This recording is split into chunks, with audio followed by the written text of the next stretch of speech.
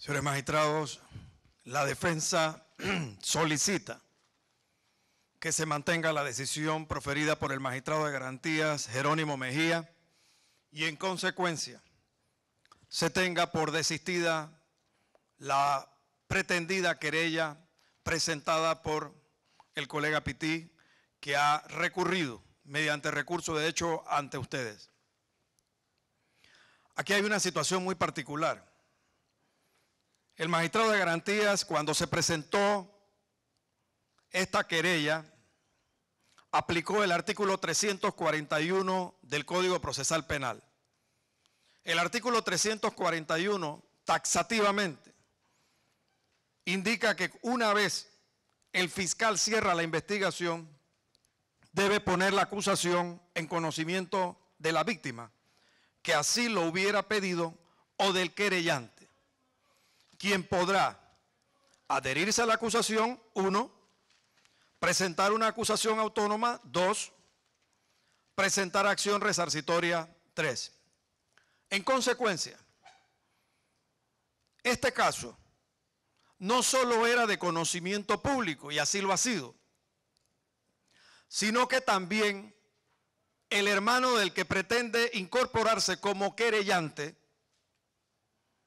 el licenciado Francisco Carrera, hermano de quien se pretende incorporar ahora, fue desde el inicio de esta causa uno de los querellantes acreditados.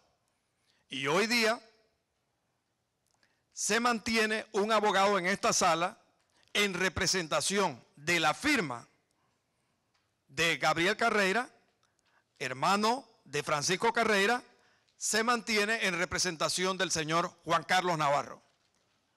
En consecuencia, los hermanos Carrera sabían perfectamente bien que existía esta causa y tratan de aplicar el artículo 89 del Código Procesal Penal. Pero es que el artículo 341 les da un plazo. Así lo dice el artículo 341 que para ejercer los derechos previstos en este artículo se le concederá al creyente el plazo de cinco días, contados desde que el fiscal le comunique su pretensión, entregándole copia de su acusación penal. Pero esa copia que le entrega el fiscal tiene que devenir de un impulso que da quien se considera agraviado o víctima en recurrir ante el fiscal y solicitarle copia de esa acusación, porque así lo dice literalmente el artículo 341 del Código Procesal Penal. Esa oportunidad fue la que dejó precluir o vencer el pretendido querellante. Entonces, bajo esa misma premisa, debemos recordar que el magistrado de garantías, Jerónimo Mejía, no permitió que el señor Yacir Purkait y el señor José Luis Varela se constituyeran como parte del proceso en esta fase intermedia exactamente bajo estos mismos argumentos. Entonces, si nosotros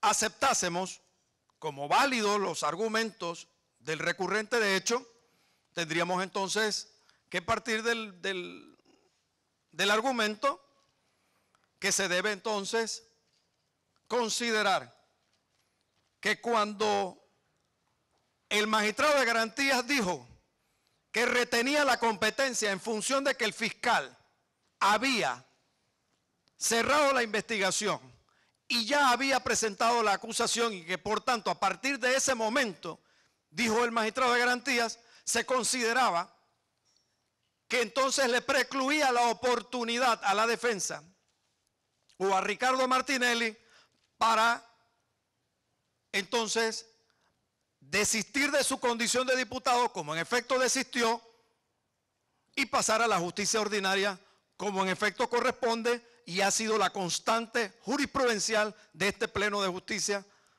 hasta este caso. En consecuencia, Aceptar los argumentos darían entonces, echarían por la borda los argumentos inmediatamente esbozados por el magistrado de garantías, quien usó este argumento de la presentación de la acusación como fase que le impedía declinar la competencia del caso, entonces tendríamos que usar ese mismo argumento para decir que esa decisión del magistrado de garantías no tiene ningún tipo de valor. En consecuencia, tenemos que el artículo 345 del Código Procesal Penal indica que se tendrá por eh, eh, desistida la acción penal del querellante cuando no concurre precisamente a esos actos procesales para hacer alegaciones previas de incompetencias, nulidades, impedimentos, recusaciones consignadas en el artículo 345. Ya esa fase la hemos pasado. Estamos en este momento, para conocimiento del Pleno, en la fase en donde la defensa ha terminado de hacer sus observaciones materiales de la acusación y estamos a la, espera de que el fiscal, quien pidió más de 14 días para prepararse, para poderle contestar a la defensa, indique qué es lo que opina sobre esas observaciones para dar paso a que el magistrado de garantía las resuelva. En esa fase nos encontramos ya en este momento. Entonces, aceptar la argumentación del recurrente de hecho provocaría entonces que vamos a retrotraer las actuaciones. Obviamente, para la defensa, también es un hecho conocido que no estamos de acuerdo con la forma en que se ha conducido la audiencia intermedia en función de que nosotros hicimos observaciones formales que todavía no han sido resueltas, observaciones materiales que todavía no han sido resueltas. Eso en el sistema adversarial no procede. Yo hago mis observaciones formales, se resuelven. Hago mis observaciones materiales, se resuelven. Aquí no se resuelve Licenciado Citón, con todo respeto, solamente para ceñirse lo relativo a la misión o no del recurso de hecho. En consecuencia, magistrado, en apoyo a mi solicitud de que se niegue el recurso de hecho, invoco el artículo 8.2c de la Convención Americana, que ha sido debidamente eh, analizado e interpretado por la Corte Interamericana en cuanto a que se tiene que ofrecer, dentro de lo consignado en esta norma, eh, a toda persona se le tiene que ofrecer la oportunidad de conocer la acusación en su contra, en el tiempo y en la forma establecido por la convención. Eso está recogido dentro del caso Palamara y Iribarne versus Chile, en el caso Barreto Leiva versus Venezuela y en el caso Radilla Pacheco versus México.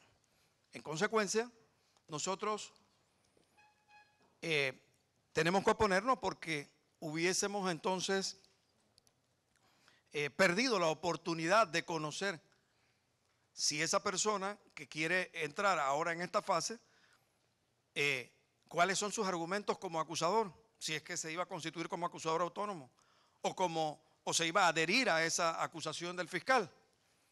Igualmente también invocamos el artículo 14 del Pacto Internacional de los Derechos Civiles y Políticos, precisamente en su segunda oración, que indica que se le consagra el derecho a todas las personas a ser oídas públicamente y con las debidas garantías. Eso está debidamente analizado dentro de la observación general número 32 de Naciones Unidas. Nosotros, en base, señor magistrado, al artículo 3 del Código Procesal Penal,